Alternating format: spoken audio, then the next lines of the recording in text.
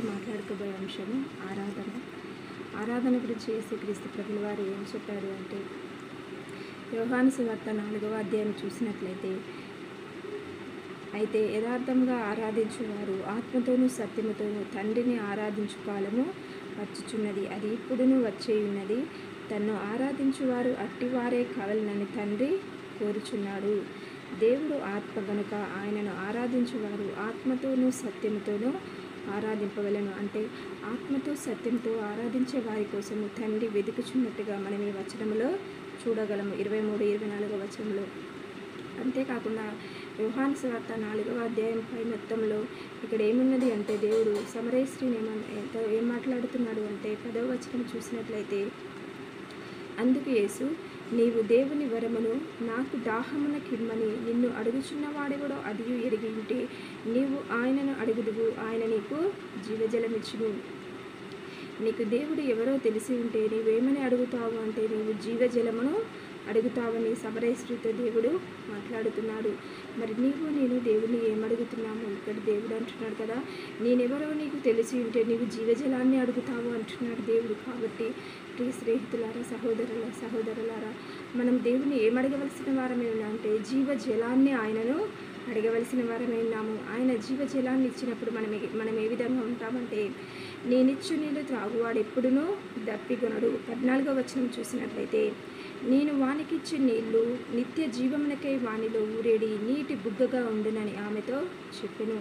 దేవుడిచ్చే జీవజలం ఏ విధంగా ఉంటుంది అంటే మనము ఇంక వీటిపైన దప్పిగొనమంట అంటే ఇంకా మనకి ఏది మనకు సంతోషం ఇయ్యదు. ఇంకా ఏ విషయాలను మనము ఆశింపము. ఇంకా ఏ విషయాల పట్ల మనము దప్పి కలిగి ఉండము. కానీ దేవుని విషయాలే మనకు దప్పిక కలిగి ఉంటాము. అంతేకాకుండా నిత్య జీవమునకై మనలో ఊరేడి నీటి బుగ్గగా ఉంటుంది. దేవుడిచ్చే జీవజలము దేవుడిచ్చే ఆత్మ మనలో నీటి బుగ్గలుగా మనలో నుండి పుడుతూ మన జీవితం నుండి మన ఇతరులకు ప్రవహిస్తూ ఉంటుంది. కాబట్టి మనం దేవుణ్ణి ఏమడగవలసిన వారమే ఉండాలంటే దేవుడు ఇక్కడ ఆయన ఆత్మను అడగవలసిన వారమే ఉన్నామని దేవుడు సెలవిస్తున్నాడు. అంతేకాకుండా ఆయన ఆత్మ ద్వారా మన జీవితంలో నీటి బుగ్గగా ఊరేడి బుగ్గగా ఆయన తలంపులు ఆయన ఆలోచనలు ఆయన ప్రణాళిక మన జీవితం నుంచి బయటికి ప్రవహించేదిగా ఉండాలి అని దేవుడు ఇక్కడ చెప్తున్నాడు. ఆ విధంగా మనము ఆయన ఆత్మను అడిగినప్పుడు అది మన జీవితంలో నుండి ప్రవహించినప్పుడు అప్పుడు మనము దేవుణ్ణి ఆరాధించాలి అని దేవుడు. ఇరవై రెండు ఇరవై మూడు ఇరవై నాలుగో వచనంలో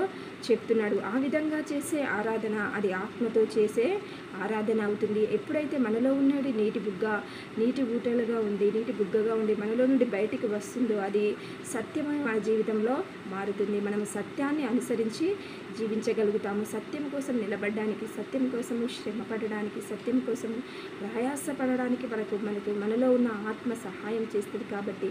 అందుకనే దేవుడు అంటున్నాడు కదా అట్టివారే నాకు కావాలనని తండ్రి కోరుచున్నాడు. ఫుట్ నోట్లో ఏమని ఉంది అంటే వెదుకుచున్నాడు. ఆత్మతో సత్యంతో ఆరాధించే వారి కోసము వెతుకుతున్నాడు.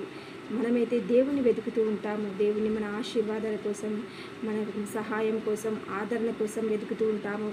అయితే దేవుడు మనుష్యులలో ఏం వెతుకుతున్నాడు అంటే ఆత్మతో సత్యంతో ఆరాధించే వారిని వెతుకుతున్నాడు. ఇట్టి గొప్ప ఆధిక్యతను దేవుడు మనకిచ్చినాడు కాబట్టి ఆయన జీవజలాన్ని మనం కోరుకొని ఆయన జీవజలపు ఊటలు మనలో నుండి ప్రవహించి మనం ఆత్మతో సత్యంతో ఆరాధించినట్లయితే ఆయన కృపకు మనము పాత్రులము కాగలము. ఆయన యొక్క కటాక్షము మనపైన దిగివస్తుంది కాబట్టి ఆయనను మనము యథార్థంగా సత్యంగా ఆరాధించిన వారము అవుతాము. ఇక్కడ సమరేశ్రీని చూసినట్లయితే సమరేశ్రీ తన జీవితాన్ని ఎంతో కోల్పోయినట్టుగా ఉంది. ఆమె ఐదుగురు భక్తులను కలిగి ఉంది. కానీ దేవుడు ఆమె ఆత్మను చూస్తున్నాడు కాబట్టి దేవుడు ఆమెకు ఆత్మతో సత్యంతో ఆరాధించడం ఎలాగో ఆమెకు బయలుపరుస్తున్నాడు. ఇక్కడ సమరేశ్రీ మొదటిగా ఏమంటున్నదంటే ఆమె నాలుగవ వచనం చూసినట్లయితే మనం నాలుగవ అధ్యాయము నీవు యూదుడవని నీవు యూదుడవు అని దేవుణ్ణి చూసి అంటుంది. నాలుగవ అధ్యాయం తొమ్మిదవ వచనంలో ఆశ్రమ శ్రీ నీవు సమరయశ్రీనైన నన్ను అంటున్నది కాబట్టి ఆమె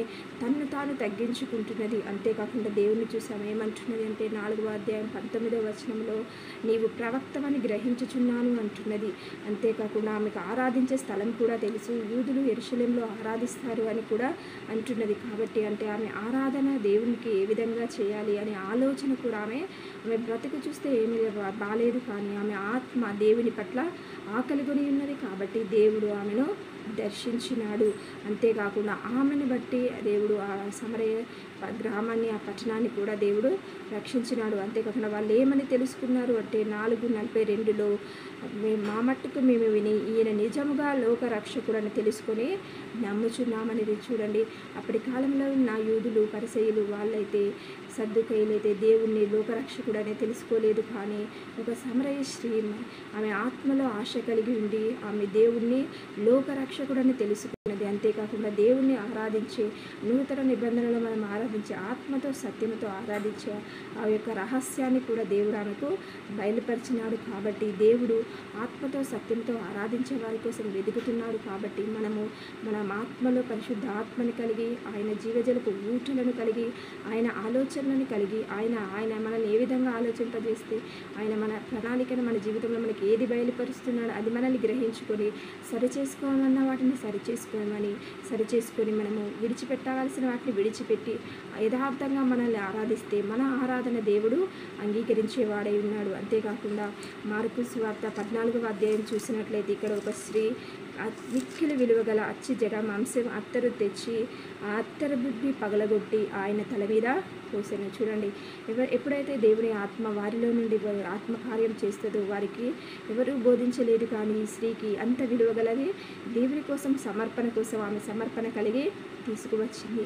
ఇదే విధంగా ఆత్మ కూడా మనలో ఉండి మనకు గ్రహింపునిస్తూ ఉంటాడు మనలో ఉండి మనకు ఆలోచననిస్తూ ఉంటాడు మనలో నుండి మనకు బోధిస్తూ ఉంటాడు మనలో నుండి మనకు చెప్తా ఉంటాడు కాబట్టి ఆ మాటలకు మనం లోబడాలి. ఆ స్వరానికి మనము లోబడి మనం ఆరాధన చేస్తే ఈ శ్రీవలని వలనే మనము కూడా దేవుణ్ణి ఆరాధిస్తే ఏమంటున్నాడు అంటే దేవుడు ఆమెను గూర్చి ఆమె జోలికి పోకండి అంటున్నాడు. అంతేకాకుండా ఆమె నా ఎడల మంచి కార్యము చేశాను మనం యథార్థంగా నమ్మకంగా దేవునికి చేస్తే ఆ కార్యాన్ని దేవుడు చూసే దేవుడే ఉన్నాడు. అంతేకాకుండా ఈమె నా శరీరాన్ని ముందుగా అభిషేకించను అంటే చూడండి ఆత్మతో ఆమె ఆరాధించినప్పుడు దేవుడు ఆమె అర్పణను అంగీకరించి ఈమె ఆమెను ప్రశంసించినట్టుగా మార్కు స్వార్థ పద్నాలుగు తొమ్మిదిలో చూడవచ్చు మనం. కాబట్టి మనం కూడా మనము మన ఆత్మలో దేవుడు మనకి ఏమి బయలుపరుస్తున్నాడో దానికి మనము లోబడి మన జీవితాన్ని మనం చక్కదిద్దుకుంటే మనం ఆత్మతో సత్యముతో దేవుని ఆరాధించి ఆయన ఎవరి కోసమైతే వెతుకుతున్నాడో ఆ ఆరాధికుల గుంపులో మనం కూడా ఉండి ఆ నమ్మకంగా మనము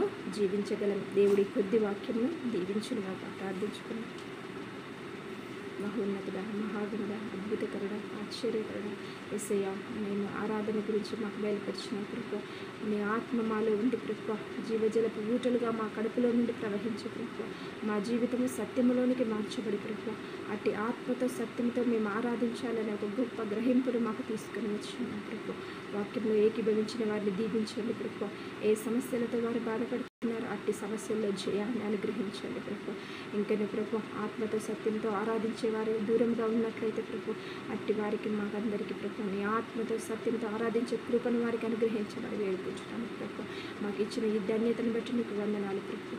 అయ్యా నేను ఆరాధించే కృపలోనికి మమ్మల్ని నడిపిస్తున్నందుకే నీకు వందనాలు చెల్లిస్తూ ఈ కార్యక్రమం ప్రతి ఒక్కరికి ఆశీర్వాదకరంగా చేయమని మమ్మల్ని బలపరచమని మమ్మల్ని మేము తగ్గించుకుంటూ నీ నామాన్ని హెచ్చిస్తూ యేసుక్రీస్తు నామం అడిగి వేడుకుంటున్నాం. తండ్రి.